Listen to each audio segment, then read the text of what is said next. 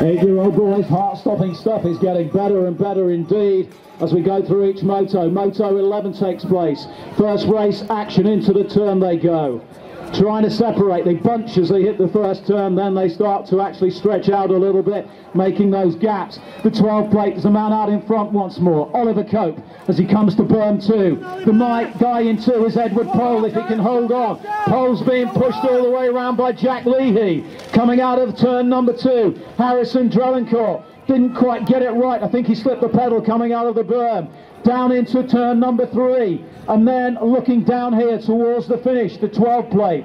Oliver Cope it's going to be another good win for him as he makes his way to the line with ease. Oh and as I say that it's curtains for him.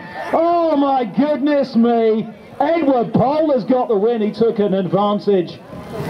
Well if ever there was a commentator's curse that was me